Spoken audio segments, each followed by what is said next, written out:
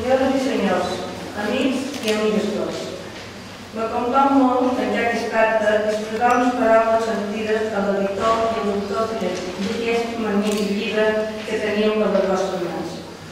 Com a voler de les salines i les reliques del cor, sempre com orgull celebrar el naixement i els batecs d'un llibre. Penso que la cultura, el pensament, la reflexió, saber qui som i cap on anem, m'ho manté vius. Mallorca es terra de creadors i conradors de la paraula.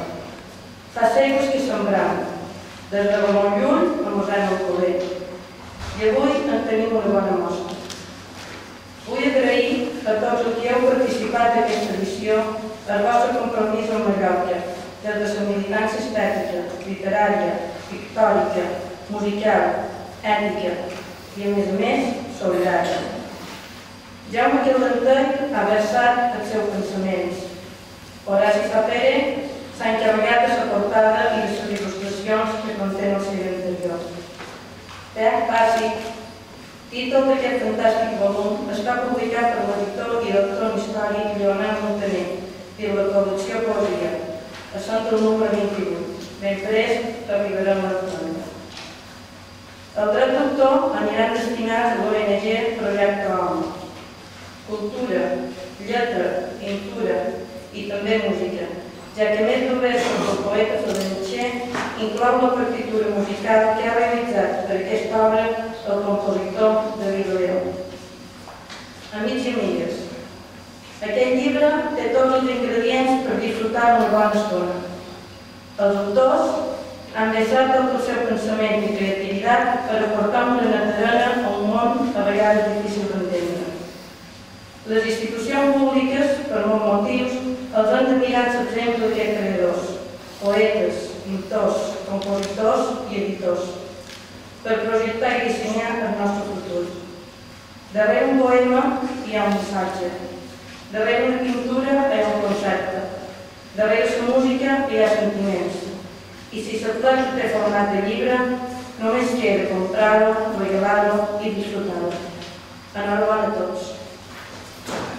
També vull aprofitar aquest moment per donar les gràcies a la família Bonarrigo, que no van dubtar en un segon en cedir aquest magnífic local, on hem disfrutat d'aquesta meravellosa posta d'escena. Gori, Isabel, moltíssimes gràcies. Moltes gràcies i bon vespre. responsable,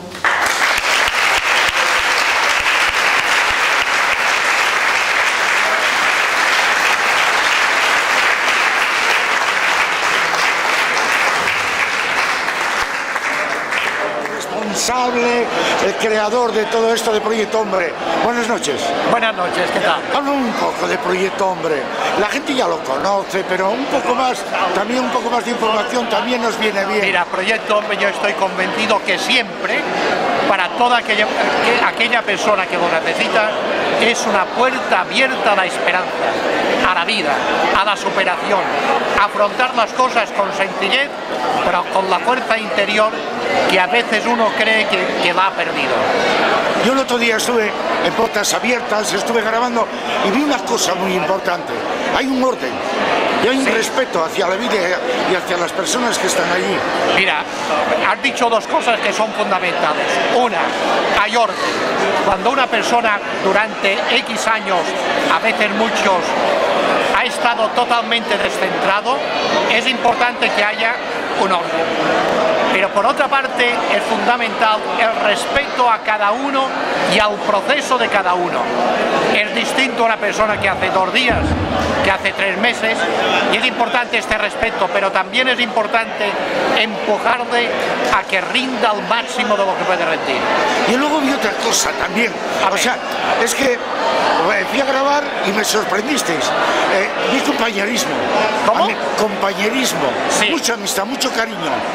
Mira, hay una cosa fundamental en una comunidad terapéutica y es el sentido de pertenencia. Cuando una persona no ha pertenecido a nada, ni a nadie, ni a él mismo, encontrarse que puede hablar y compartir con otros desde el corazón es fundamental.